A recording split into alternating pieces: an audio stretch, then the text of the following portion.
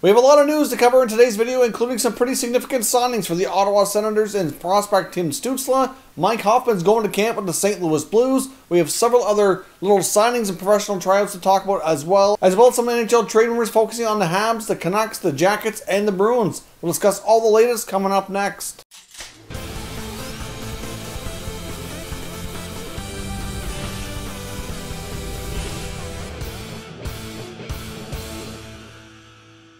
So welcome back to another video here at Top Shelf Hockey. Now, as I mentioned, we have a lot to cover here today, so this is certainly one of those videos you're going to want to listen closely and watch all the way through because there's a lot of little tidbits of news that have come out here out of the NHL really ever since the last few hours. Now, first up, we're going to talk about some signings, including some professional tryouts. Now, the news that just broke moments ago before I started to record was we found out Mike Hoffman is going to camp with the St. Louis Blues, except he has not signed a contract. He's going to Blues camp on a PTO, on a professional tryout, which is relatively surprising that the league's highest scoring uh, unrestricted free agent is going on a PTO. But I guess this gives them some flexibility, though. I mean, with training camps nearing, uh, it's probably a wise decision that he go there. Maybe the Blues are still working on creating a little bit of additional space here to sign him to the contract he wants. Rumor has it he's looking for a $5 million deal. Uh, and right now it's been speculated that he's being offered you know, around three, 3.5, maybe closer to four at most by different teams. Uh, the Blues and Bruins have been in the mix as well as a few other teams for the last number of weeks here. Um, but at least he has a place to go and, uh, and, you know, get ready for camp and start the season uh, possibly if he can get signed once he's there. But the thing is, as well, is just because he goes to camp with the Blues doesn't mean he can't sign elsewhere. So other teams can still talk and negotiate with them. There won't really be any preseason action or exhibition games this year, so it's not like other teams could uh, have a chance to scout and watch them or anything like that. So it's a different kind of setup for this coming season, but we'll see what happens. I would think this more than likely does lead to a contract with St. Louis, as we've talked about before when it comes to their LTIR situation. They can put Alex Steen and Vladimir Tarasenko both on long-term injury reserve, which will create some space to get him under contract. And he decide Vince Dunn as well. Uh, so I would suspect that some of these contracts will be hammered out here, but they can't officially put uh, all these players on LTIR here until the season starts. So it's probably going to be a case where he goes to camp and gets signed shortly thereafter. Would be my guess, but all indications are Hoffman will be a St. Louis Blue. Another pretty significant signing that just took place in the last little bit here as well is the Ottawa Senators have finally signed a third overall pick from the 2020 NHL Draft. German-born top player from the World Juniors, Tim Stützle, has signed his ELC uh, for the Senators. So that's good news. I know there's a lot of Sens fans were you know, a little nervous that he might not sign and might end up playing over in Europe this year. Many Senators fans are looking for a lot of reasons to be optimistic and have something, you know, uh, fun and exciting to look forward to in training camp and beyond here since it's been so long since we've had Senators hockey. Uh, so that's a big signing for the Ottawa Senators, and they were actually quite generous as well with the performance bonuses. He gets the standard 925k, of course, uh, for entry level deals. He gets 832.5k as a base salary with a $92,000 signing bonus uh, which gets him to the 925. If he plays in the minors, his salary will be 80,000, and of course he can earn an extra 2.5 million per season between his Schedule A and Schedule B bonuses. So really solid contract, not uncommon at all for someone who drafted so highly. Uh, he's been logging a ton of ice time for a depleted team of uh, Germany in the World Juniors so far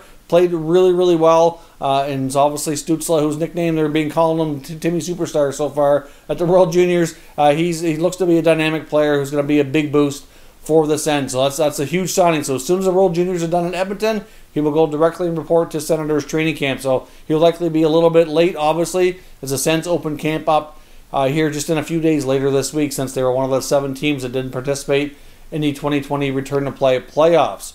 Now, another signing here from the World Juniors as well, which actually took place the last couple of days, but we didn't include it in the prior videos. The New Jersey Devils have signed their first round pick from the uh, 2020 NHL draft, Dawson Mercer, to his entry level contract as well. Of course, we saw Mercer in Team Canada really batter that depleted German team. Unfortunately, the other night, uh, I believe the final score was 16 to two. Uh, the German team was not what you expected at all. They have a lot of players that are still going through isolation and quarantine because of COVID stuff that happened as they first arrived in the uh, World Juniors bubble. Uh, they only had like 13 or 14 skaters. The team was exhausted.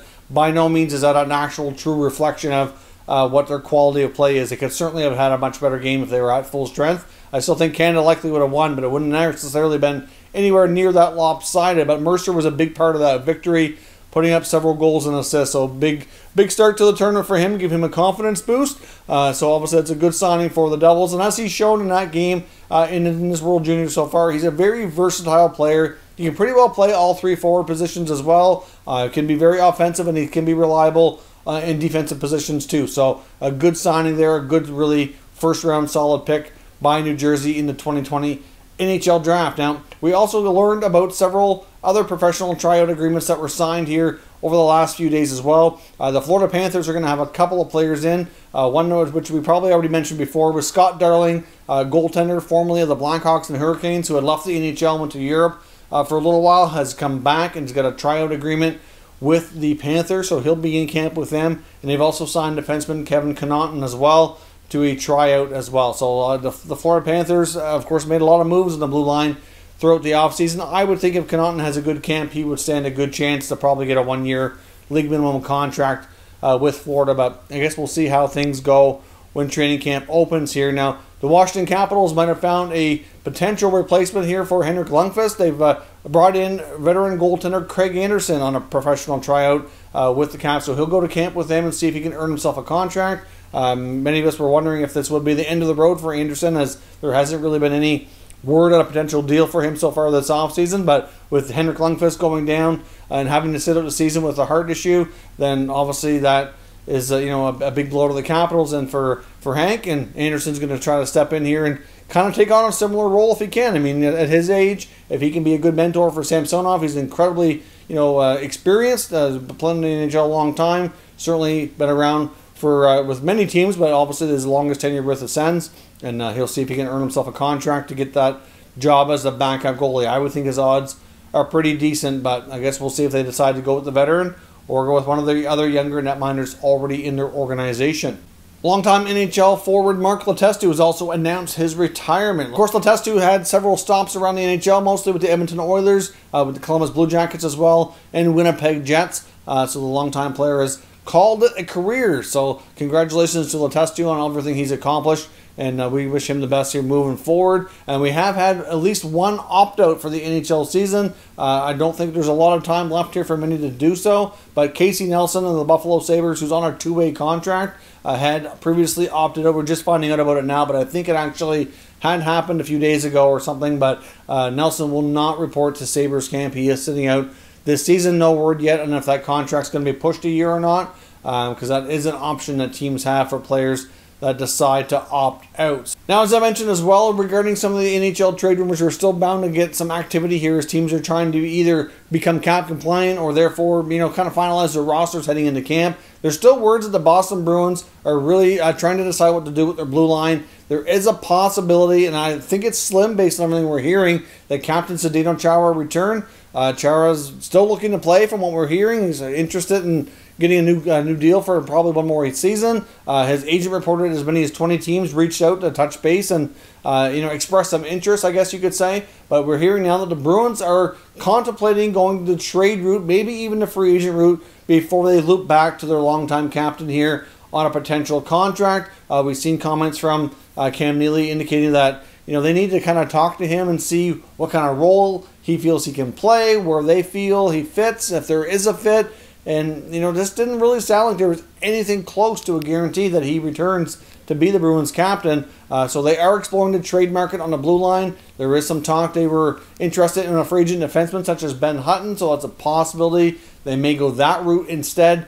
But trading for a defenseman seems like a real possibility here. And it did sound like before, as I mentioned, that they were willing to part with young prospect Urho Vaakanainen in order to get a more experienced blue liner. I would suspect if they do go ahead and do that, they're going to want somebody ideally either with a little bit of term or somebody who they could likely come to terms with and extend to become a, a Bruin for a longer period of time. I don't see them trading away, you know, a, a decent prospect defenseman for somebody that's only going to be there for the short term, and uh, you know, kind of leaving their captain in limbo here. So I guess we could see something develop out of this, but at this point, it does seem relatively unlikely that he returns to Boston, but no guarantees, of course. We'll have to watch this situation over the next few days as the Bruins ultimately decide what direction they are going in. Now, When it comes to the Columbus Blue Jackets, there's still word that they're shopping for a top six forward. Looks still looking for some more firepower. Uh, they've attempted several, you know, free agent considerations that have not worked out. They still need to get Pierre Luc Dubois signed, which is obviously a big deal for them as well.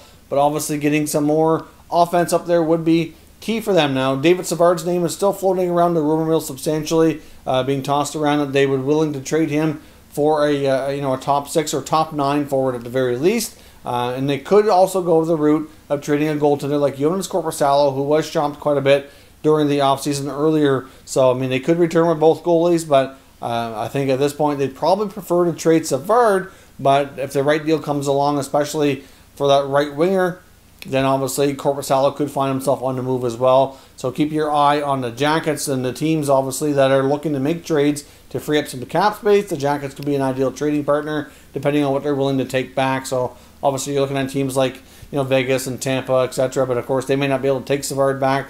So debatable on what they could work out there. But the Jackets are looking for help and uh, we'll see what they can find here. Now, when it comes to the Montreal Canadiens, there's word that Victor Mete could find himself on the move. Of course, they've made several uh, moves this offseason, and you know, not really through the whole team, goaltending, defense, and in the forward group. But the defense group is a little bit crowded right now, and having some additions like Joel Edmundson and uh, youngster Alexander Romanov, who's expected to not only come to camp and be with the team, but likely grab a regular spot, should basically will jump ahead of Mete here uh, on depth chart pretty much immediately which kind of makes him expendable. And they have other young defensemen already in the system too, like Noah Juulsen, Cale Fleury, who don't have guaranteed NHL roster spots either. So Mete's a name that's been out there. You know, I think with the right team, he could still be a regular NHL defenseman and really find his spot to kind of break through in a, in a more offensive role. Um, so would not be shocking if Montreal parted with Mete for some kind of future considerations, whether it be a draft pick or maybe a different uh, younger prospect that they could maybe build into their system, uh, you know, at a later time. But Mete seems to be the odd man out. Doesn't mean for sure he'll be dealt. He very well could find himself on the taxi squad or maybe even in the minors this year. But he's a player that has, has enough NHL experience that I think the Habs will look to part with to kind of free up a roster spot here in the near future. Now, lastly, we want to touch on the Vancouver Canucks. A lot of today's information as well on the trade talk comes from the fourthperiod.com where they updated their list of players that they feel likely or most likely be traded throughout the offseason. Of course, several had already been dealt because the list has been something they started way back when the offseason first started. It's been being updated as we go along here and as things evolve. Uh, and right now, uh, golly, Brandon Sutter for the Canucks is on there as the Vancouver Canucks try to find some cap space. Obviously, trading Loui Eriksson is going to be not, you know, pretty much impossible. It's not likely not happening. And there is apparently interest, according to the fourth period, in Sutter's contract. He's only got one year left on it, just shy of 4.4 million. Apparently, uh, they had been, linked to like teams like Arizona and Detroit. Not really sure Arizona's a fit in my opinion. We saw them trade Derek Stepan to Ottawa earlier today. Uh, obviously, that freed up some space for them. I don't see them then bringing in another guy who's actually going to be paid out more of a salary than Stepan, because even though Stepan's cap is higher, his actual payout would be less. To me, that doesn't really fit Arizona unless they made another trade, which is just I'm not sure that's really going to make sense. Now, could Detroit make a move? I would not be one bit surprised if the Red Wings do pick up another veteran player from somebody before the start of the season to kind of take advantage of their cap space, but they're going to want some kind of sweetener to make it happen. Uh, they could do business with the Canucks. They could do business with a team like Vegas or Tampa or any of those teams that are hard up for cap space. I don't think we're going to see them take on much more, but one more player in that kind of situation to me could make sense. And obviously, the Canucks make sense if they're going to move somebody that it would be Sutter, but they also have to figure out their long term injury reserve situation. Is Micheal Ferland going to be able to play this year? Doesn't look like it right now, so that's some extra wiggle room they could get because of his contract going on LTIR. Uh, and obviously, that may not be completely clear until camp opens, but would not be a bad idea if they did move out of contract and free up some necessary space here just to have more flexibility. And they're going to have to likely keep Loui for one more year. Even if they bury him in the minors, it's still they're only going to get a little bit over a million dollars cap relief. That's not going to really be enough to, to do a whole lot with. So we'll see. There's also been links that the Canucks are considering adding another blue liner like a Travis Hamonic too. So clearly, if they're going to do that, they need to find some space in some way to make it happen. So that is all for today. Let me know your thoughts on something discussed down in the comments. I know that's lots of news, but lots to discuss. We have a very active, busy news season as we get closer and closer to camps opening. The seven teams that missed the playoffs They're opening camps here in just a matter of like a few days as they get closer to the 31st here. So let me know your thoughts in the comments and we'll discuss further. If you're new to the channel, consider subscribing and turning on your notifications so you don't miss any future content. And give this video a thumbs up if you enjoyed it. I'd appreciate it if you did. As always, thank you for watching, and I'll catch you next time.